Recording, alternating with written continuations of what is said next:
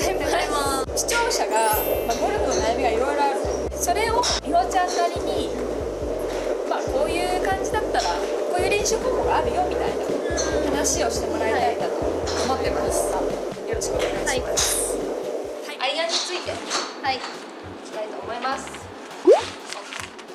はい。アイアンの悩みです。木村元気さん。はい。最近コースに行くとアイアンがまともに当たりません練習場で出たこともないようなミスが出てどう修正していいのか分かりません。コース回った日に練習場で確認してみると普通に出てもう自分ではどうしていいか分かりません。アライメントじゃないですか？そうだね。さっきの話だね、さっきのドライバーの時とドライバーの質問のなんか練習場でうまくできるけどっていう話と一緒ですね、ぜひそこを参考にしてほしい。です、まあ。あとなんかそうですね。その練習場で自分がどれぐらいのこう足幅でとかどれぐらいのと遠さであ打ってるかとかもちょっと見た気にした方がいい、結構意外ともしかしたらコースちょっとなんかコースに出ると近くなったりこう遠くなったりとかっていう場合もあるんでそういうところもちょっとアドレスをちょっととにかく同じにするっていう意識をした方がいいかもしれない。いかに練習場とコースで自分のその向きとかそうですそうですまあ、構えとか状況で違うか、次いきます。正弘森沢さん。質問です。ドライバーをインパクトで押してる感じですよね。アイアンとは打ち方変えているんですかね。どうしてもアイアンが引っかかります。ドライバーもちょっと左な感じです。右に打ち出すプレーンを教えてほしいです。インサイドアウトにってことですかでもそれはさっき言った逆ハンド逆ハンドはい。で打つイメージと自分でこう使っていかない？あー。イメージがない。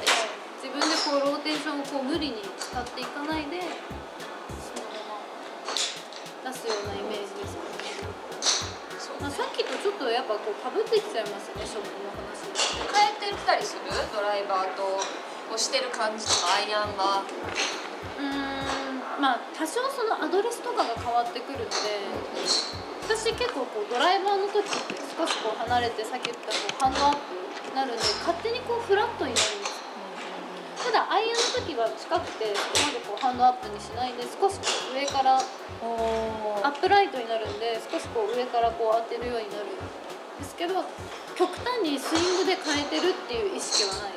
構えによってスイングプレーも変わってくる。っていうイメージですね。はい。じゃあ次いきます。クロモハーツさん。初心で申し訳ないですがスイングで体重移動がうまくできず飛距離が伸びません。アイアンで140ヤードぐらいです。アドバイスください。体重移動ができないっていうのは打ってた方向にできないんですかね。特にバックスイングで右に乗せる必要はないのでちょっとそのフィニッシュで左足一本でもし立てないんだったら右足がちゃんとこう上がった状態でこうフィニッシュが自分が取れてるかどうかを見た方がいい。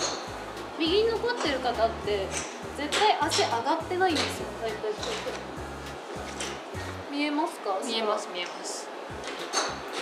当たり前ですけどこうやって足が上がってたら左に乗れるんでちょっとそこを意識した方がい。いかもしれないちゃんと足を上げていくんです。足を上げて一本に立つはいここが愛に愛になるはい次いきますエイス PDM さんアイアンウッドも空に当たってしまいます。改善策ありますか？トゥーに当たってしまう。とそれもスイングを見てないんだよ。わかりわからないっちゃわからないんですけど。まあトゥーに当たるっていうのは自分のこの体の近くを通せてはいると思うんでもしかしたらそのアドレスだけ？ちょっと自分では意識してないけど少しこう最初からトゥー側に構えてるのかもしれないし。かそういうアドレスもまずチェックしてみてください。でトゥーに当たるんだったらもうちょっとヒールにまず構えてそのボールを。で少しちょっと極端にヒールに構えてみて打ってみてそれでナイスショットが出るんだったらそのアドレスでもいいと思います。まあ難しいですねスイング見てないそうね。でもまあその感じがちょっと見てあるんだったらやってみて、そうです。いつもいつもトゥーに当たってるんだったらアドレスを変えるだけでいいじゃないですか確かにかなりそこにしか当たらないってことはかずっとそこに当たってそこに当たってるんだったらアドレス変えるだけで改善されると思う劇的な変化になりトゥーに当たったりヒールに当たったりするんだったらちょっとそのスイングとかの話になってきますけど。じゃあ最後の項目に行きます。はいローチはい。についてはい IPNT3RD に。はい。50ヤード以下のアプローチに悩んでます。はい。距離を調整しようとするとラフにざっくりが止まりません。練習場では30あ間違えた。503010とそれなりに打てるんですがラウンドでは芝が気になりクラブに力が入って思うように体が動かなくなります。うん。いい練習方法ありますか？そうですね。まずはその調整っていうのがもうちょっとその振り幅で打ち分けるようにした方がいいな。確かに。調整っていう言葉が入ってると少しこう早く振ってみたりちょっとこう遅く振ってみたりもしかしたらしてるのかな。インパクトでちょっとそうですそうなるとちょっとやっぱりこう。コースに出た時プレッシャーにかかってくるとミスになりやすいのでまずはその同じスピード感ああとその距離の打ち分けはまずアドレスからもやった方がいいと思います結構こう。アプローチなのにこう。足が結構こう。広い広いまま打つ方が多いので50の時はこれぐらい30の時はこれぐらい、もう近くなったらこれぐらいとか、ちょっとそういうところでも例えばこの状態で一番大きく振ろうとしてもこの辺までしか上がんないじゃないですか、それでちょっとこう距離感も合わせやすくなると思うのでそういうのもちょっと気をつけた方がいい。じゃあ50はい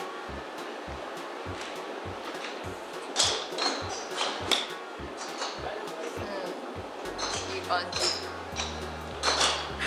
いい感じです次30 30正面の方がいいですか？正面の方がなんか振り幅見えてていいか？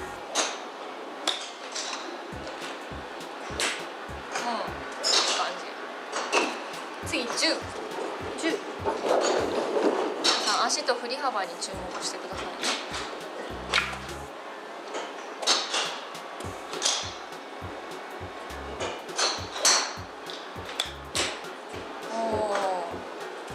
差が出てるでもなんか右が大きくて左が大きいとかないねなんか同じぐらいぐらいで、なんかその特殊な打ち方をするんだったら別ですけどすっごいこう上げるとか、じゃなくてもニュートラルなまあちょっとこうピッチエンドランじゃないけどそういう時はもう同じぐらいの振り幅でした方が距離感は合ってくると思うはい、ありがとうございます。次いきます。アプローチについてです。ブルックスさんです。アプローチの打ち方の種類は何種類ぐらいありますか？例えばロブ、ピッチエンドランなど状況に応じて打ち分けてると思うので教えてください。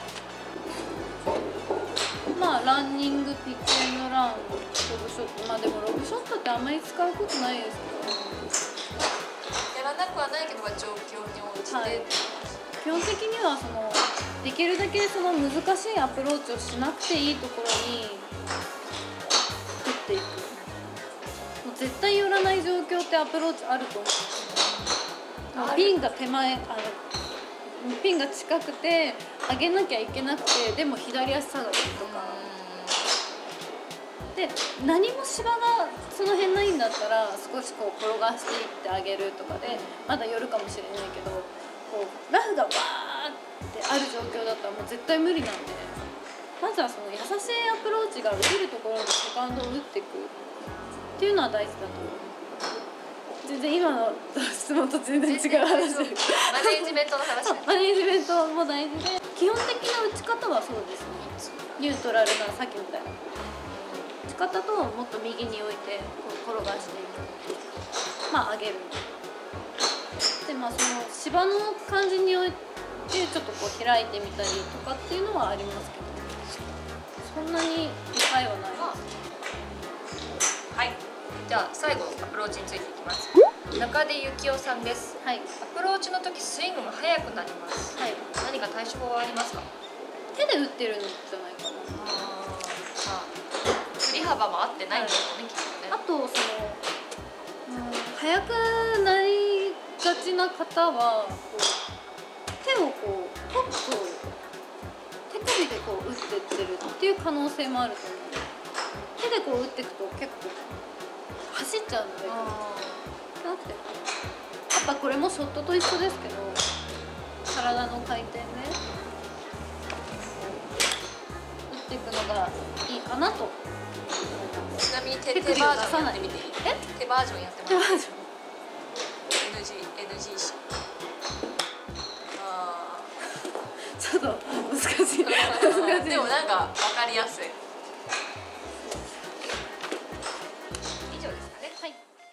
はい、お疲れか様でした。そうだね。はい、お疲れ様でした。ありがとうございました。たくさんいろいろ美穂ちゃんなりのなんかね、一番でも感動したのはあれ。フェイス。うんうん。あのこう向いてたらこう来るっていうのと、こう向いてたらはいこう開いちゃうよっていうのがびっくりだった。そうですね。結構あそこ大事なところで、うんうん私もその、まあ、教えてっていう方にレッスンしたりとかするときに一番気にしますねまず。そこ、これを本当ぜひ皆さんも見てみてください。何か参考になれば。どうでしたか今日？なんか質問たくさんいやー喋ったな。普段あんまり喋らないいそう？や喋あんまり喋らないんで、結構なんかいっぱい喋ったな。いっぱい喋ったな。喉乾いたな まあでも皆さんいろいろ質問していただいて、ありがとうございます。待ってましたっていう感じだったので 待望だと思いますが。じゃあ皆さんぜひたくさん練習してください。以上です。バイバーイ